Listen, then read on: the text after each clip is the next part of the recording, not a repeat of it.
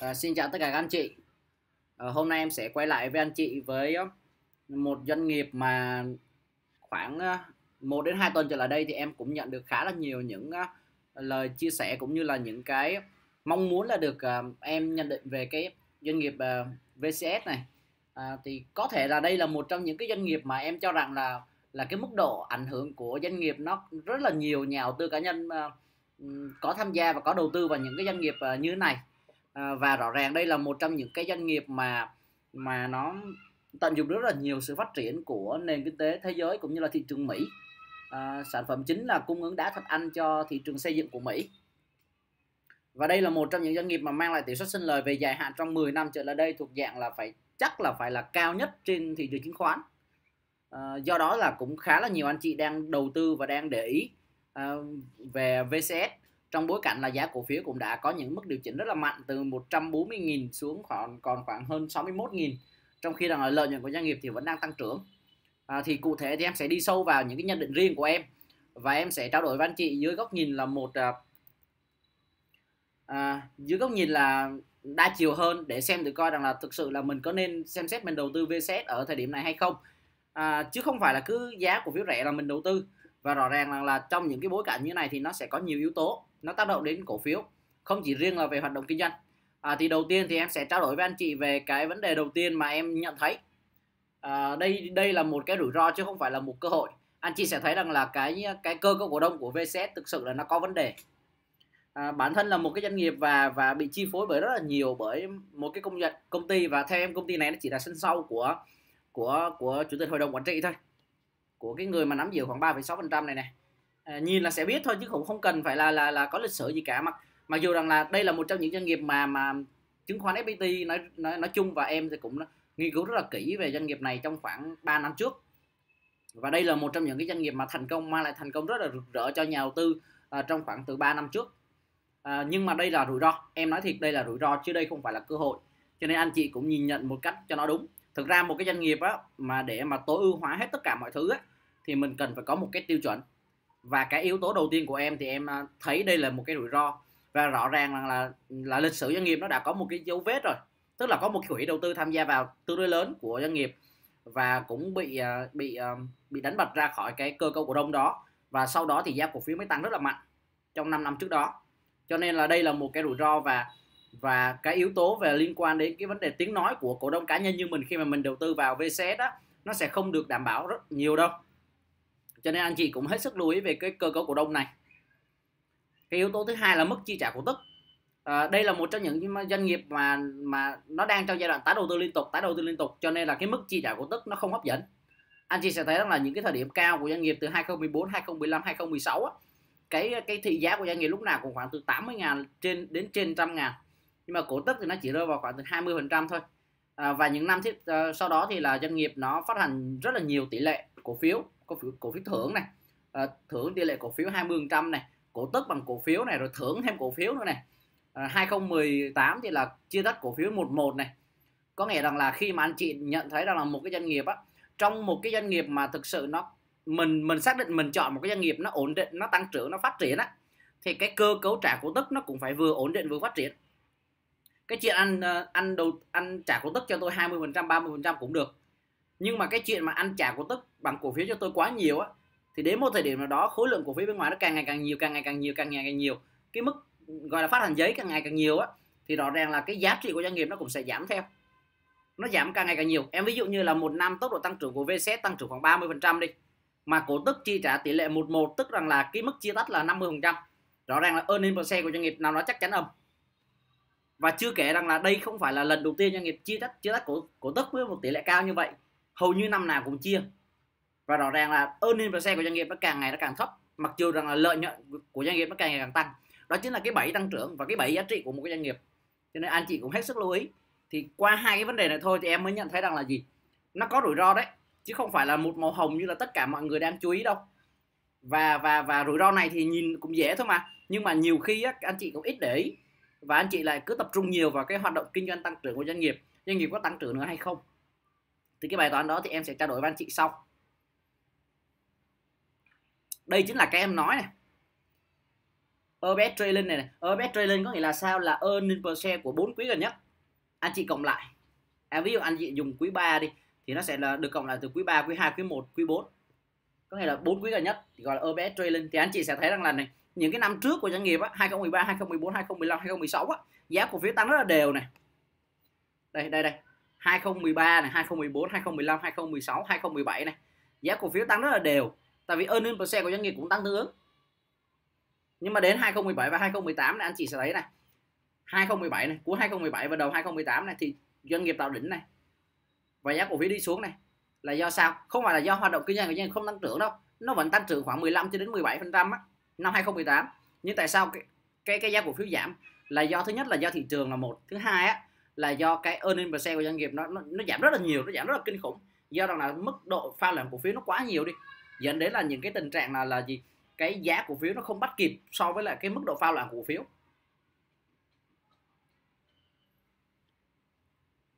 Anh chị sẽ thấy rằng là hầu như là những cái chỉ số về tăng trưởng về hoạt động kinh doanh của doanh nghiệp rất là đẹp từ 2013 cho đến 2017 nhưng có dấu hiệu chững lại và đi xuống từ 20 cuối 2017 uh, ờ, cho đến 2018 ngay cả cơ cấu về doanh thu và lợi nhuận cũng vậy. Rất là đẹp từ 2013 cho đến 2017 nhưng cuối 2017 và đầu 2018 thì nó có những dấu hiệu chững lại. Và đối với những cái doanh nghiệp mà nó tăng trưởng quá nóng như này này, anh chị này, từ giá 10 lên giá 10 14 à, là 104 tức là anh chị đầu tư từ năm 2014 đi, trong khoảng 5 năm đi 4 năm anh chị đầu tư mà anh chị lợi nhuận có thể là hơn 10 lần, gọi là doanh nghiệp 10x đó, thì đúng thật là quả thực là không có một cái doanh nghiệp nào có thể đạt được những doanh nghiệp này. Và VCS là một doanh nghiệp duy nhất trên sàn chứng khoán trong 5 năm trở lại đây giá cổ phiếu tăng gấp 10 lần. Và đó cũng chính là cái lý do tại sao mà em nhận thấy rằng là nhiều anh chị rất là quan tâm đến cổ phiếu này. Vậy thì chúng ta sẽ đi vào sâu hơn nữa. À, nãy giờ em chỉ trao đổi với cơ bản thôi anh chị đó là sao? Về hoạt động kinh doanh của doanh nghiệp á em không nghi ngờ. Tại vì doanh nghiệp này cái cái ngành nghề của doanh nghiệp này á, nó đi vào một cái thị trường ngách và nó nó cung ứng những cái sản phẩm rất là cao cấp cho thị trường Mỹ. Trong bối cảnh là Mỹ và Trung Quốc nó càng ngày càng căng thẳng á những cái doanh nghiệp mà xuất khẩu như này nó sẽ được hưởng lợi từ hai đầu luôn. Thứ nhất là đơn hàng nó sẽ tăng. À, dựa vào cái những dịch chuyển đơn hàng từ các nước à, ASEAN nhiều hơn so với lại thị trường Trung Quốc. Cái thứ hai nữa là vấn đề về tỷ giá. Thường thường doanh nghiệp xuất khẩu thì người ta sẽ nhận bằng đồng USD mà rõ ràng anh chị sẽ thấy rằng là USD trong khoảng thời gian 2 tuần trở lại đây á nó đã tăng rất là cao rồi hơn 2% rồi ở cả ở cả uh, tỷ giá trung tâm và tỷ giá tại uh, ngân hàng Vietcombank à, lên đến khoảng 23.400 rồi 23.450 rồi. Là tăng khoảng hơn 2% trong khoảng 2 tuần trở lại đây rồi. Cho nên là những cái doanh nghiệp xuất khẩu này nó sẽ được hưởng lợi. Nhưng mà đi sâu vào nhiều hơn thì nãy em nãy giờ em trao đổi với anh chị đó. Nó chỉ nó có những yếu tố về chứng lại về doanh thu về lợi nhuận về biên lợi nhuận. Ờ, và rõ ràng là khi mà một cái doanh nghiệp mà tăng đến 14 lần thì những yếu tố chứng lại này nó sẽ là một cái cơ hội để cho nhà đầu tư dài hạn người ta xem xét và người ta bán ra. Vậy thì câu hỏi bây giờ rằng là chúng ta có còn đầu tư được nữa hay không với cái vùng giá này? Với cái vùng giá mà giá cổ phiếu nó đã chiết khấu hơn 50 phần trăm rồi. Từ 140 về 70 là giảm 50 phần trăm. Mà bây giờ là giá cổ phiếu là khoảng 60 rồi. Hơn hơn hơn hơn 50 phần trăm rồi. Khoảng 55 đến 60 phần trăm rồi. Thì chúng ta có đầu tư được hay không? À, thì cái này chúng ta phải đi đi sâu vào hơn một chút để xem được coi là doanh nghiệp nó có nhiều cái rủi ro hay không. Để chúng ta đánh giá. À, đây là doanh nghiệp mà cũng tương đối lớn trên thị trường. À, một cái doanh nghiệp mà tài sản và doanh thu doanh thu tài sản nợ thì nó rơi vào khoảng gần 5 ngàn tỷ là thường thường là những doanh nghiệp lớn trên thị trường đó tài sản của doanh nghiệp khoảng 3.600 tỷ nhưng anh chị lưu ý này à, các khoản phải thu và hàng tồn kho chiếm gần hết rồi. Cho nên đây cũng là một điểm chưa tối ưu của doanh nghiệp. Chứ tính tính ra về tiền và tư tiền nó chỉ chiếm khoảng chưa tới 10% cái giá trị tài sản. Chưa tới 10% giá trị tài sản cho nên nếu mà để xem xem xét về một cái doanh nghiệp mà cơ cấu hơn hơn 3.000 tỷ mà chỉ có 300 tỷ tiền và tương đương tiền á là một cái cơ cấu tài sản yếu. À, các khoản phải thu ngắn hạn tăng lên tức là quản trị khoản phải thu chưa cao. Nhưng à, nó có nhiều yếu tố có thể kỳ vọng trong tương lai. Hàng tồn kho có những sự sụt giảm nhẹ. Tài, tài sản khác thì không đáng kể tức là tài sản à, ngắn hạn tài sản ngắn hạn lúc lúc lúc nào cao hơn so với tài sản dài hạn. Đây cũng cũng không phải là một cái yếu tố nó tốt cho cho cho doanh nghiệp. Tài sản kinh doanh dở dang 4.900 tỷ. Nợ đi mình coi về nợ thì à, cơ cấu tài sản thì nó cũng xấu mà nợ thì rõ ràng là thấy nó cũng xấu. Nợ thì um, nợ ngắn hạn thì nó đến từ chủ yếu đến từ vay vay ngắn hạn vay tài chính dưới một năm. Nợ dài hạn thì à, không không có vay. Nói chung là doanh nghiệp vay khoảng hơn 1.000 tỷ. Hơn 1.000 tỷ mà vốn chủ sở hữu là khoảng 3.000 tỷ tức là mức độ vay là khoảng 30 phần trăm. Đây là mức độ đẹp. À, nó không có quá nhiều rủi ro. À, chúng ta sẽ thấy rằng là một cái doanh nghiệp mà nó đẹp nhất là như thế nào anh chị này. Anh chị lưu ý hai cái hai hai cái phần này, này. vốn chủ sở hữu á, mà mà lúc nào nó cũng cao hơn vốn góp á. vốn góp chính là cái vốn góp của mình đó. Lúc này em trao đổi với anh chị đó mình góp vào thì đây là vốn góp thực này nhưng mà vốn chủ của nó gấp đôi vốn góp á. Có nghĩa là những cái khoản về lợi nhuận sau thuế được giữ lại quỹ đầu tư phát triển. Quỹ đầu tư phát triển nó cũng là từ à, lợi nhuận sau thuế được giữ lại thôi. Rồi nguồn vốn chưa phân phối à, rõ ràng là nó đều đến từ cái vấn đề là dòng tiền hoạt động kinh doanh của những năm trước nó được tích lũy lại tích lũy lại tích lũy lại để hình thành ra một cái vốn chủ sở hữu càng ngày nó càng nở ra. Thì anh chị sẽ thấy rằng là những cái doanh nghiệp nào mà vốn góp nó nhỏ mà vốn chủ sở hữu nó to á thì thường là những doanh nghiệp đó là những doanh nghiệp rất là nhiều tiền thì cơ cấu này là tốt. À, nợ nó chiếm khoảng 30% vốn chủ sở hữu thì cơ cấu này thực sự là tốt chứ không phải là không tốt. À, chúng ta sẽ đến với một cái à, cái về hoạt động kinh doanh quý 1 thì rõ ràng là mình thấy là cái tốc độ tăng trưởng của doanh nghiệp nó đã bị chững lại rồi. Tại vì VCS nổi tiếng từ 2013 đến 2017 á, tốc độ tăng trưởng của doanh nghiệp lại kép là hơn 30% một quý. Nhưng đến thời điểm hiện tại thì anh chị sẽ thấy rằng là doanh thu nó chỉ tăng trưởng hơn 15% thôi. Doanh thu này tăng khoảng à, 200 tỷ khoảng ờ, gần 200 tỷ thì nó rơi vào khoảng 15% à, doanh doanh thu tăng khoảng 15% à, lợi nhuận gộp thì tăng khoảng 60 tỷ 65 tỷ. 65 tỷ thì nó chưa tới 20% à, khoảng 17% chi phí lãi vay thì nó gia tăng. Chi phí lãi vay tăng tức là nợ nợ nợ nhiều hơn đó nợ nhiều hơn đó mình thấy là trong bối cảnh mà biên lợi nhuận nó có nó, nó giảm giảm hơn này doanh thu nó tốc độ tăng trưởng nó không nhiều hơn này mà chi phí lãi vay nó cao hơn này chi phí bán hàng thì cao gấp rưỡi. Chi phí bán hàng cao gấp rưỡi mà biên lợi nhuận không gia tăng hơn thì tức rằng là anh đang chi nhiều hơn nhưng mà anh thu về ít hơn. Tất nhiên là cái này là mình so sánh cùng kỳ và rõ ràng là là đã là làm ăn kinh doanh đó, thì nó sẽ có nhiều yếu tố. Có thể rằng là những cái thời điểm này là thời điểm khó khăn giai đoạn chuyển đổi. Cho nên rằng là doanh nghiệp nó phải chi nhiều hơn cho những cái vấn đề đó. Nên là làm cho những khoản chi phí nó đội lên nhưng mà dưới góc độ của một cái người mà nhìn sâu và nhìn xa người ta khó tính á, thì người ta sẽ thấy rằng là gì? Tốc độ tăng trưởng doanh thu nó chỉ tăng chừng đó. Nhưng mà tốc độ tăng trưởng chi phí nó gia tăng hơn chừng đó. Tức là là là doanh nghiệp nó đang đi lùi về hoạt động kinh doanh của doanh nghiệp. Mình có này chi phí cao chi phí lãi vay cao hơn này chi phí lãi vay phải cao hơn khoảng 35% này. Chi phí quản lý chi phí bán hàng cao hơn 50% này đến 60% luôn đó ờ, chi phí quản lý tăng khoảng hơn 10% này. Đó. Thì những cái chi phí gia tăng mà những cái biên lợi nhuận nó không nó giảm thì rõ ràng là cái lợi nhuận sau thuế của doanh nghiệp tốc độ tăng trưởng lợi nhuận sau thuế của doanh nghiệp nó sẽ sụt giảm. À, nó sẽ tăng được khoảng đâu đó là 30 tỷ khoảng 40 tỷ 40 tỷ 40 tỷ thì chưa tới uh, chưa tới 20 phần trăm nữa khoảng 10, 15 cho đến 17 phần trăm. Tăng trưởng về lợi nhuận sau thuế là 15 đến 17 phần trăm. Và earning per share của doanh nghiệp cũng tăng tương ứng. Nói chung đây là một cái doanh nghiệp mà hoạt động kinh doanh của nó nó nó vẫn đang phát triển chứ không phải không phát triển. Và nó phát triển cả về doanh thu cả về lợi nhuận à, xong thì nó có một vài yếu tố à, đẩy mạnh cái sự gia tăng chi phí làm cho cái tốc độ tăng trưởng lợi nhuận của doanh nghiệp nó có sự sụt giảm hơn so với lại khoảng 4 năm trước đó. Thì đó cũng chính là cái lý do mà giá cổ phiếu nó sụt giảm. Thì nếu mà để đánh giá thì thực sự là cái vùng giá 140 mà chiếc chiếc khấu còn 60 ngàn thì em thấy là thực sự là nó hấp dẫn chứ không phải không hấp dẫn. Thì hấp dẫn đến đâu thì chúng ta sẽ đi tìm tiếp về các ờ, vấn đề về định giá xem tự coi rằng là doanh nghiệp này nó từ trước đến giờ thì thì nhà đầu tư chấp nhận trả cho doanh nghiệp là vùng giá bao nhiêu để mình đưa ra được một cái vùng giá tối ưu hơn. Cơ cấu tài chính của doanh nghiệp rất là đẹp á. Thực ra anh chị sẽ thấy rằng cái đòn bẩy nó càng ngày càng giảm á không phải là doanh nghiệp nó càng ngày càng giảm cho vay đâu mà là do cái vốn của doanh nghiệp nó càng ngày càng cao á. Vốn chủ sở hữu càng ngày càng cao tài sản càng ngày càng lớn á làm cho những cái nợ chia cho vốn chủ sở hữu hay là nợ ngắn hạn nợ dài hạn chia cho vốn chủ sở hữu á, càng ngày nó sẽ càng thấp. Đó là do sự hình thành lớn lên và phát triển của doanh nghiệp một doanh nghiệp mà nó càng ngày càng lớn lên, càng ngày càng lớn lên thì những cái khoản vay của nó so với lại cái doanh nghiệp đó thì nó càng ngày càng nhỏ đi. Thì đấy cũng là một điều tốt thôi chứ không phải không tốt. Em nghĩ cơ cấu tài chính của doanh nghiệp VCS là tốt chứ không phải không tốt.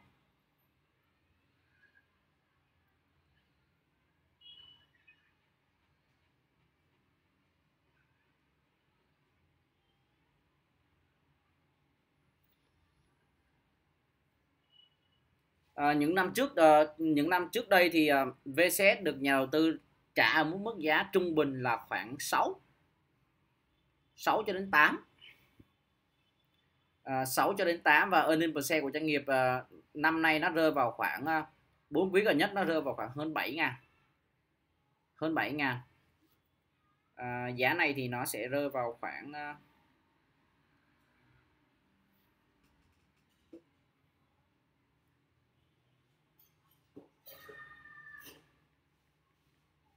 ờ, PE của doanh nghiệp khoảng 8 thì tức là những năm trở lại đây doanh nghiệp nó được nhà đầu tư trả một mức khoảng từ 6 cho đến 8 mà với mức hiện tại là doanh nghiệp đang giao dịch ở mức PE là khoảng 8 à, tại sao lợi nhuận tăng trưởng mà sao PE lại 8 nhỉ? Thì nó lại đến từ những cái như em nói đây này. Do doanh nghiệp nó trả bằng ờ, cổ phiếu quá nhiều đi cho nên là earning per share của doanh nghiệp nó càng ngày nó càng bị hẹp lại. Thì làm cho earning per share mà càng ngày càng nhỏ lại á thì làm cho cái PE của doanh nghiệp nó càng ngày càng to lên pi mà càng nhỏ thì nó sẽ càng hấp dẫn. Mà pi pi mà càng lớn á là doanh nghiệp nó càng bớt hấp dẫn. Thì tức là với vùng giá này thực sự là không nên bán. Theo cá nhân quan điểm của em là giá này nếu mà anh chị đang đầu tư và anh, anh chị đang nắm giữ thì không nên bán.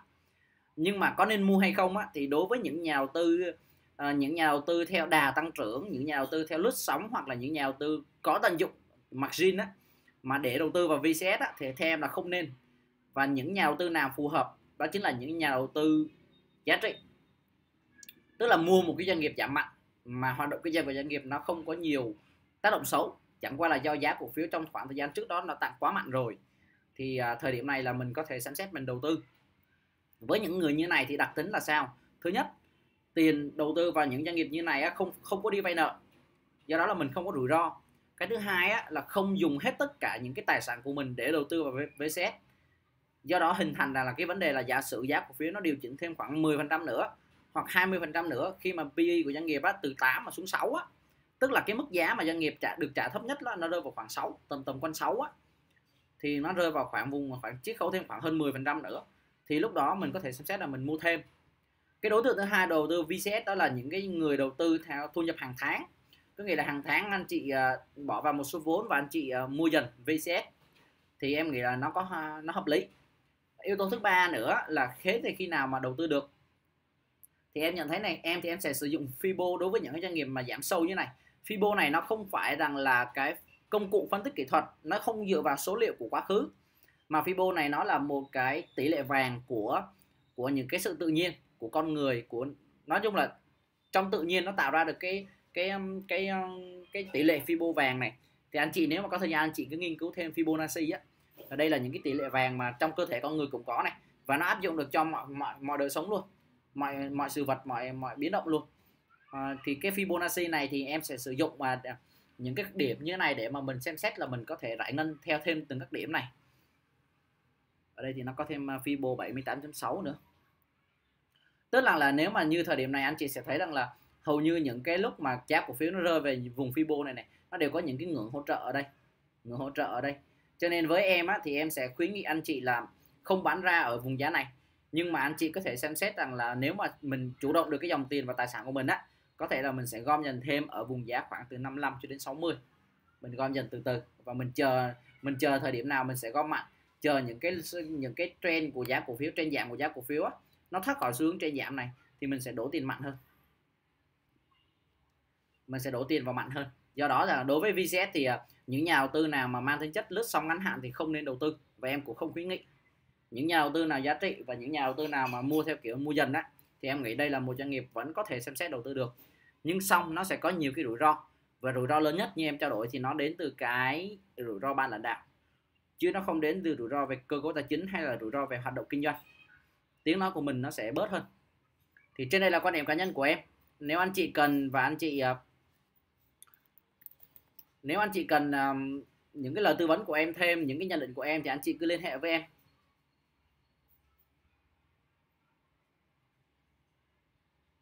À, qua số điện thoại 0933 687 436 thì hiện tại thì em cũng đang làm tại chứng khoán FPT cho nên nếu anh chị có cần một uh, mở một tài khoản tại chứng khoán FPT và em sẽ hỗ trợ anh chị trong quá trình uh, đầu tư và thiết kế danh mục anh chị cứ liên hệ với em. Ngoài ra thì em còn đào tạo và tư vấn. À, do đó thì anh chị cần tham gia những khóa học của em thì cũng liên hệ với em à, và em có quản lý tài sản cho những anh chị nào mà không có nhiều thời gian à, theo dõi trên thị trường. À, em xin hết.